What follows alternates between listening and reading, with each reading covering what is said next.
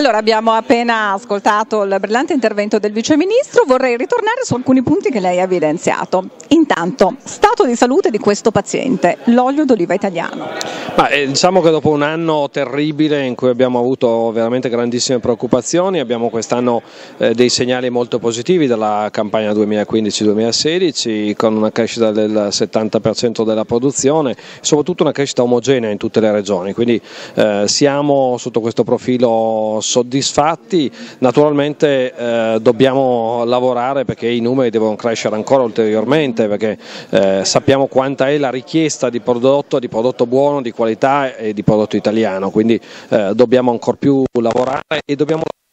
muoverlo, fare in modo che venga eh, anche compensato, retribuito in maniera corretta. A proposito di eh, lavoro ancora da fare, Vice Ministro, mi ha colpito un, un, passaggio che lei ha evidenziato verso la fine,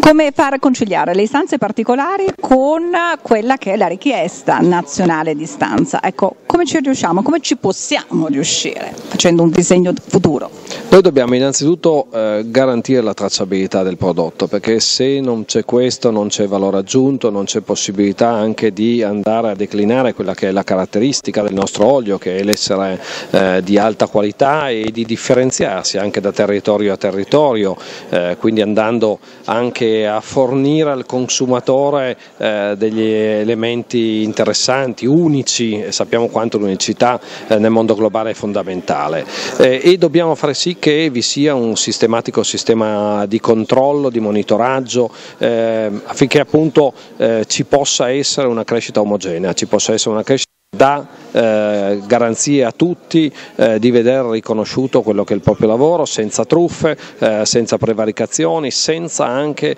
eh, trovarsi in condizioni di beffa eh, di prodotti di scarsa qualità che eh, vengono presentati come italiani ma italiani non sono. Ultima cosa Vice Ministro, come invece mh, attirare, essere attraenti nei confronti anche degli stranieri con quello che abbiamo di meraviglioso, il nostro paesaggio olivicolo? l'identità territoriale. Noi dobbiamo proteggerlo in tutti i modi, dobbiamo farlo sia da un lato remunerando correttamente il prodotto il prodotto di qualità e quindi facendo sì che i coltivatori abbiano interesse a curare il territorio, ma dall'altro lato anche riconoscendo la funzione di tutela del territorio dei piccoli piccolissimi che molte volte non hanno reddito sufficiente eh, dal prodotto ma devono averlo dal lavoro straordinario che fanno. Molto bene, grazie, gentilissimo.